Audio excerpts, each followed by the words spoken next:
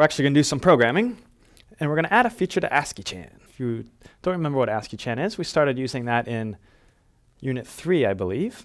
And it looks something like this.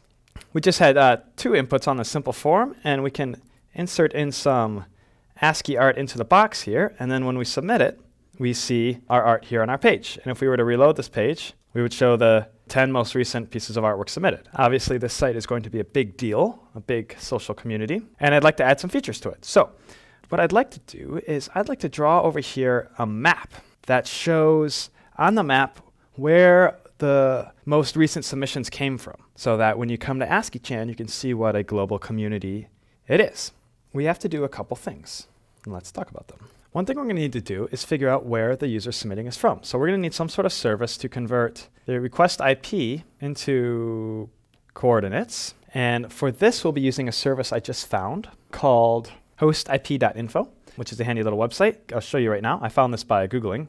Basically, you go to hostip.info, and for any IP address, they will tell you where it's located. And they also have an API that has very simple documentation. Basically, if we go to hostip api.hostip.info and include the IP address in, in a get parameter, they'll give us some XML with location data, and I'll show you what that looks like. For this IP, their example IP, we get all of this information, including city, country, country abbreviation, and what we're really after, some coordinates. And here we've got the longitude and latitude. This will be a really handy service that we'll be using. We also want to draw a map, and for this we'll be using Google Maps. And Google Maps has a really handy service called Static Maps, which is where we can basically make a URL that draws a map with markers on it. And I'll show you where the documentation for that lives. That is here. It's called the Static Maps API version 2.